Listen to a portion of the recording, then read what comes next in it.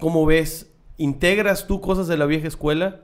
Este, las investigas, a ver, dicen que está mal. Bueno, ¿por qué está mal? ¿No?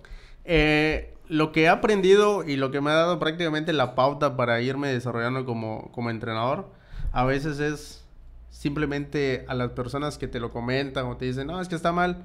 Ah, sí, tienes razón, lo voy a corregir.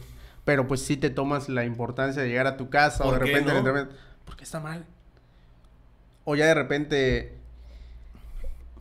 pues como dices, ¿no? No hay preguntas tontas, hay tontos que no preguntan. Total. Y ya la experiencia de ir a eventos y coincidir, por ejemplo, en cursos, en certificaciones. Oye, profe, ¿tú cómo entrenas eso? No, pues yo lo entreno así.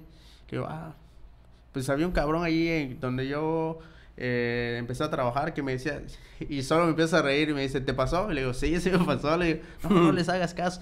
Y hay gente, por ejemplo, que es muy cerrada en, en su trabajo, ¿no? Ah, pues actualmente, eh, podemos decir, en el estado, en Campeche, es muy, muy cerrada, ¿no? Hay quienes sí traen esa parte de, de la vieja escuela y hay que somos muy pocos, o pues te puedo decir que creo que somos los primeros que estamos trabajando de una forma eh, tanto lo teórico como lo práctico e ir implementando, ¿no? Hay un entrenador eh, en Ciudad de México que tiene un canal, se llama Boxeo Inteligente, Edgar, García, y da de repente cortos de estoy entrenando esto, ¿por qué esto? ¿Por qué lo otro? Y empezó a meter muchos temas.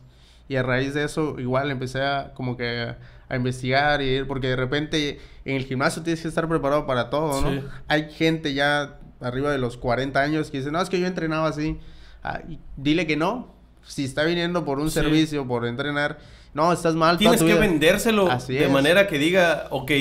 Así es. Uno, uno que me lo dijo, no sé si fue contigo, me dijo el diablo, que, que le pegaban a las llantas. Ah, sí. Y que que, pero, ah, todavía le falta pegar a las llantas. Dijo, no, hombre, con las llantas te vas a joder las... Las, muñecas. Las muñecas.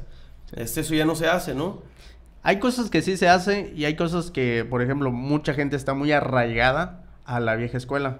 Que le ha costado tener como que esa evolución o implementar cosas nuevas, ¿no?